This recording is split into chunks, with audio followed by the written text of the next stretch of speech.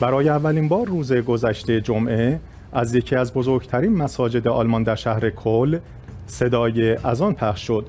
مقام های چهارمین شهر بزرگ آلمان سال گذشته راه را برای مساجد باز کردند تا حد اکثر پنج دقیقه بین ظهر تا ساعت سه بعد از ظهر جمعه ها صدای اذان را از معزنه ها پخش کنند.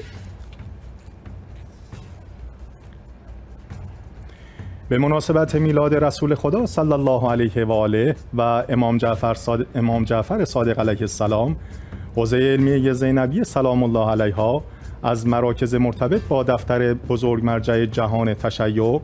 آیت الله العظما سید صادق حسینی شیرازی دامزلو در کشور سوریه میزبان برگزاری مراسم جشنی با شکوه بود. در این مراسم پس از تلاوت آیاتی از قرآن کریم دکتر شیخ بلال دوالیبی از علمای برجسته سوریه به سخنرانی پرداخت شیخانی مدیح سرایی و توضیع جوایز نیز از دیگر فعالیت‌های این مراسم جشن بود.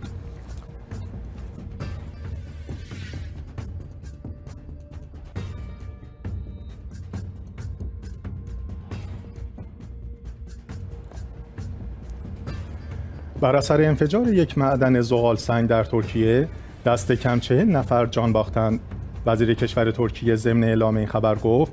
این معدن در شمال ترکیه قرار دارد و تعداد کشته شدگان در حال افزایش است.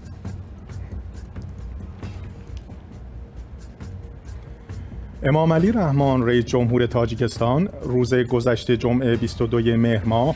در نشستی با سران روسیه و کشورهای آسیای میانه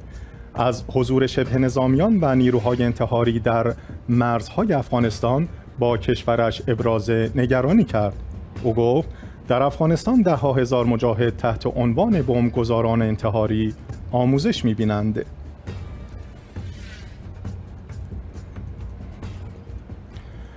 ولادیمیر پوتین رئیس جمهور روسیه روز گذشته جمعه اعلام کرد مسکو می‌خواهد ارتباطات با دولت فعلی طالبان را در حد ضروری حفظ کند.